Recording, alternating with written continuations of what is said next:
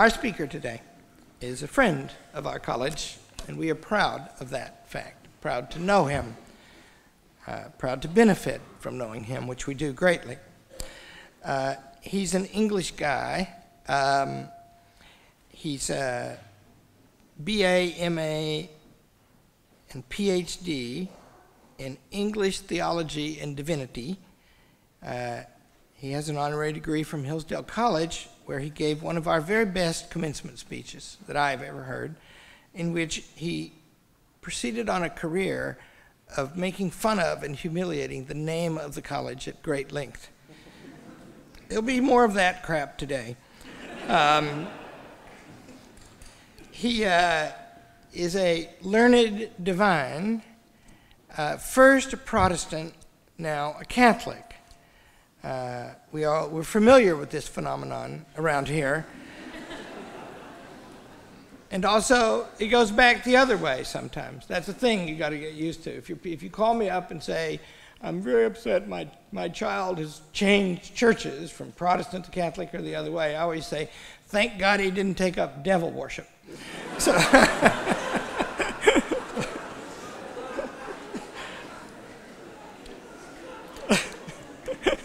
That was my comment when I heard that Professor Ward had changed his uh, affiliation. He's, he's been a deacon in the Church of England and a priest. Ooh. Chaplain of Peterhouse. What else has he done? He teaches at Houston Baptist now uh, until he comes up here. Um, I guess the thing that brought him to my notice and many of our notice early was that he's one of the leading experts on C.S. Lewis. Uh, his book, he's written several now and he's got more coming, but his book called Planet Narnia contains one of those great insights that uh, scholars get once in a while, and it's one, they don't get many, nobody gets many in his career. Most don't get any like this. But it was thought of C.S. Lewis that uh, he was not a very careful writer and that uh, his friend Tolkien was much better. And if you judge the, uh, the uh, fiction that they wrote for children and science fiction and fantasy, that uh, Tolkien was much better. And of course, there's that story that Tolkien disapproved of Lewis's fiction. So that's sad when you hear things like that. And so Michael Ward comes along to explain to us that these books that we all love are serious books. And that comes to him because he has the eyes to see serious things from the human point of view, which of course always involves both reverence and humor. A great man, Michael Ward.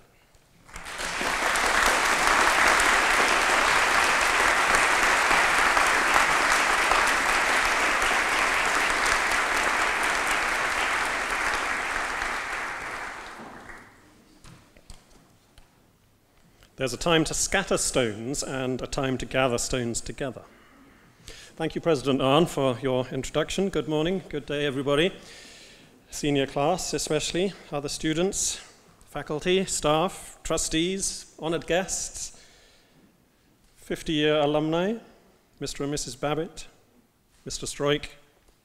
It's a great delight for me to be back here at Hillsdale to speak at this spring convocation and to mark the groundbreaking for the new chapel, a building which I believe will be not only the jewel in the crown of the Hillsdale estate, but a fine example nationally and indeed internationally of church architecture in an educational setting. On my last visit two years ago, when I spoke at commencement, I drew attention to the one serious deficiency of Hillsdale College, and it is the only one I'm aware of, uh, namely the strikingly inadequate attention given here to the life and work of Winston Churchill.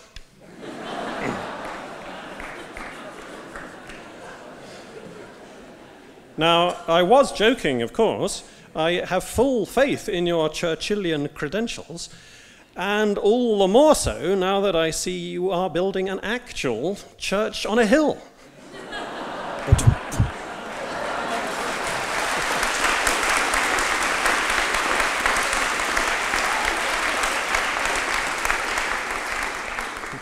I know it's a chapel on a hill, not a church on a hill, but Church Hill is funny and Chapel Hill is not. Begging the pardon of all Tar Heels present. Um, admiring earlier this morning, as I was, the statue of Churchill in Grewcock and the statue of Margaret Thatcher in the quadrangle, and reflecting on the fact that you've invited this Englishman to give this convocation address, I began to wonder whether Hillsdale had received the right memo from the White House. The aim, remember, is make America great again, not make America Great Britain again.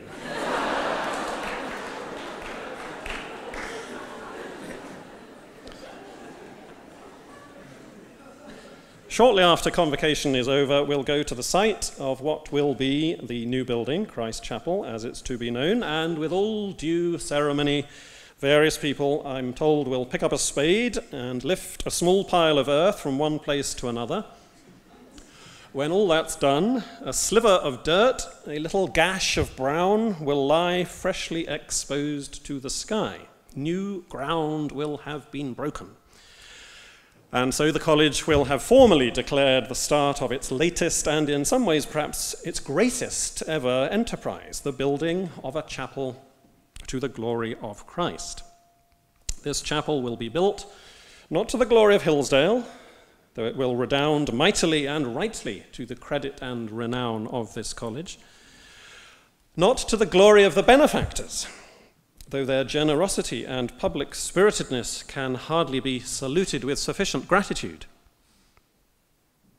Not to the glory of the students who in future will worship there, graduate there, perform music there. Wonderful, though all those things most certainly are. It will be built to the glory of Christ who himself glories in our educational endeavors, our philanthropic benefactions, our pupillary activity, for God is no man's debtor. Now, I feel fondly towards this new chapel, and it's not even been built yet. And that's because two years ago, I was in Houston one Sunday morning, and I went for the very first time in my life to a church called St. Teresa's in a part of Houston called Sugarland. And I went there, I must confess, partly to see what they make churches of in Sugarland. Candy? Pillars of licorice, I was hoping for, walls of marzipan, roofs of chocolate. Would Willy Wonka give the sermon? Would a jelly baby be baptized? Would we have communion with bread or gingerbread? The reality was far better than any Hansel and Gretel fantasy I could have entertained. St. Teresa's was beautiful. At any rate, it was beautiful inside. Outside, it was no great shakes. But I asked and discovered that the interior had recently been renovated from top to toe and so impressed was I, after I got home, that I spent a long time browsing the website of the architectural firm who did the job. The more I looked at the work of this architect, whom I'd never heard of before, I'd, I'd, never heard of any American architects before, I must confess, the more I was impressed, indeed astonished by its quality. Here was architecture that lifted the spirits, that assisted you in worship rather than causing you to wonder whether God exists. We've all been in those churches, I'm sure. Here was an architect who evidently knew and respected the history and the traditions of architecture, and who was bringing the timeless principles of that art form to new life in the modern day.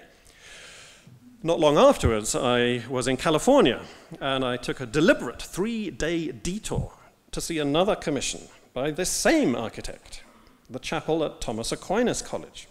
This was his work both inside and out, and this was stunning, miraculous that such a work could be put up in the modern day. So, when in May of that year, 2015, I came to Hillsdale to give the commencement address, and Dr. David Whalen told me of the plans to build a new chapel here, I said to him almost dreamily, You are going to get Duncan Stroik to design it, aren't you? And he said, Yes, we are. what are the chances of that? At Oxford, we are trained to make a little knowledge go a long way. And here, the one single fact I knew about American architects went straight in the bullseye. As if I knew all about American architecture. So I'm very fond of this chapel. I think it's got a great future ahead of it. It's also got a great past behind it. Hillsdale College, as you well know, was founded in the first half of the 19th century at 16 minutes to 7. I mean, 1844, sorry. Um, Article 6 of the College Constitution states religious culture in particular shall be conserved by the college and by the selection of instructors and other practicable expedients. It shall be a conspicuous aim to teach by precept and example the essentials of the Christian faith and religion those practicable expedients are now being understood with a whole new level of seriousness and holy ambition. 173 years after its founding, Hillsdale formally begins today what I understand will be a two year process of building a suitably sized, suitably special, suitably sacred space, thus helping to fulfill that original aim of the founders. 173 years. Good things come to those who wait. Sometimes you just have to be patient. There are flowers, cacti, I'm told, that bloom only once every couple of centuries. I was taken to see one once in the Botanic Gardens in Oxford. Amazing thing. Though the, the smell was awful. It smells like rotting flesh. But that's by the way. I know that we're told that Americans and Brits have different perspectives. That in America, 100 years is a long time, while in Britain, 100 miles is a long way. well, that's not always true. I've traveled nearly 4,000 miles to be with you today, and that's actually not a very long distance to be among friends in sunny Hillsdale. and Hillsdale itself, as I know very well, has a rooted historical sense. You're fully aware that 173 years is no great delay in the grand scheme of things. Indeed, it could be regarded as rather hasty. I used to be chaplain of Peterhouse, the oldest college in Cambridge, which, though founded in 1284, didn't get round to building its own dedicated chapel till 1628 that's nearly half past four. I mean, that's 344 years. 173 is almost exactly half that. So, really, what you're doing today is terribly hasty. You should slow down. Incidentally, that chapel at Peterhouse was built under the presidency of Matthew Wren, who was uncle of none other than Christopher Wren, builder of St. Paul's Cathedral. President Arnn mentioned that his daughter Alice has studied at Notre Dame under Duncan Stroik. Well, if Mr. Stroik is not already America's Christopher Wren, let's hope Miss Alice Arnn one day will take that laurel herself. This building, this church, College Baptist Church, has served Hillsdale well for most of those 173 years. But now the time is ripe for the full flowering to move from the good to the best, to the college's own purpose built, suitably sized chapel. The quadrangle will be completed. That providentially preserved gap between Grewcock and the Dow Centre will be filled up, and a permanent place of worship, place of ceremony, place of beauty and dignity will emerge. Religious culture shall, more hospitably than ever before, be conserved by the college. The founder's aim is fructifying. But though we're breaking new ground today, there's no absolute novelty occurring. It's not mere change that's happening, but a synthesis of change and continuity. The nature of the college is being more fully realized, becoming more itself, finding a more developed way in which to teach by precept and example the essentials of the Christian religion. Religion tends to get a bad rap these days, and from two directions. On the one hand, we hear people say that they are spiritual but not religious. They may be interested in Christianity, but certainly not religiosity. Religion here means something like ritualism, mere formalism, the externals of faith. On the other hand, some people take religion to mean folly or superstition or even fanaticism. As when Richard Dawkins says that religion flies planes into buildings, but science flies rockets to the moon. Surely one of the most fatuous things ever said by an Oxford professor. And I've heard a lot of fatuous things in Oxford. I've even said a few of them myself. Why do I think that's so fatuous? Well, firstly, because religion and science, being abstract nouns, not people, don't actually do anything, good or bad. They are not agents. And secondly, because if we're going to play that game of ascribing agency to abstract nouns, one might just as well say religion gives us Mother Teresa while science gives us mustard gas. It's much better simply to say that there can be bad religion and good religion. There can be bad religion done well. There can be good religion done badly.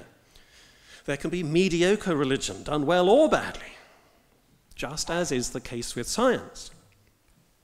So, for many years, I've been on a mission to reclaim the word religion from this verbicide that it's been suffering. Religion doesn't mean either formalism or fanaticism. Etymologically, it means rather something like tying back together, religion, religamenting, religaturing, finding the, the unifying reality behind disparate appearances, seeking oneness, integration, wholeness, a, a theory of everything, as Stephen Hawking might say. Religion, in this sense, is the opposite of analysis. Analysis from the Greek analusis means loosening up, not tying back together, but loosening up. There is obviously, of course, naturally, a place for analysis. We do often need to pull things apart, to dissect them. But analysis serves synthesis, doesn't it? It's not an end in itself. You disassemble the engine of your car when it's malfunctioning in order to find out the problem and then put it back together so that it's in working order again. It wouldn't run more smoothly if you just left it in pieces on the garage floor. You cut open the human body to remove the tumor or the bullet or whatever it may be. Then you sew up the incision religiously to bring back health to the organism, health that depends upon integration, health that won't survive perpetual loosening up. You break new ground for a similar reason. You dig up a whole load of earth and rocks and roots. You loosen it and scatter it about, removing some bits, relocating other bits. And not only physically with the earth, but intellectually with architectural principles. You analyze, you loosen up what makes for a good building. You analyze what makes for a good building in this particular place. You analyze what makes for a good building in this particular place for this particular body of people. And all this analysis takes years. There's mess and noise and expense and disagreements, and people look at you like you're crazy. The interruptions to normal life go on for years. All sorts of unexpected problems crop up along the way, and this is when it's going well. But strength rejoices in the challenge. And the true crop is not these disturbances, these echoes of primordial chaos when the earth was formless and void. Rather, the true harvest of all these efforts will be a noble building, a thing of beauty and a joy forever, in which Hillsdalians shall flourish, both individually and corporately, and from which the God who's given us everything in Christ can be given back the best we have to offer, which is all too little, but in which offering we transcend ourselves and therefore most truly find ourselves. So, analysis, I maintain, is not an end in itself. But is religion an end in itself? Isn't it possible to be too religious, to be so interested in unity and oneness that you never look for change? Can't the religious impulse devolve into a kind of frigidity or frozenness, a paralysis in which the way we've always done things must be the way we always do things, forever and ever, amen? Well, that is a danger, yes. Obscurantism, the Luddite impulse, tying things back together so tight that life becomes one big strangulating corset. That is a danger. True religion, however, should always be corrigible, both self critical and open to correction from without, open to revision in the light of new knowledge in response to new situations, not cramping in upon itself or always ratcheting up the interior tension, but periodically relaxing, taking stock, surveying new horizons, like the heart that now contracts, now expands. In the history of Christianity, St. Peter and St. Paul are the great archetypes we do well to have in mind when we think like this. St. Peter is the rock. That's what the name Peter means. You don't have to be a Catholic to accept that Peter was the first bishop of Rome. And the defining function of any bishop is to sit rock like, stationary in a chair, a cathedra, to be a focus of unity for the flock, which he regulates with his shepherd's crook. Thy rod and thy staff, they comfort me. The Petrine principle provides for fixity, certainty, a still point in a turning world. But St. Paul is the missionary, the apostle to the Gentiles, who goes all over the Mediterranean, spreading the word, founding new churches, tackling practical problems, developing new theological understandings, firing off letters left, right, and center, and once even challenging Peter to his face.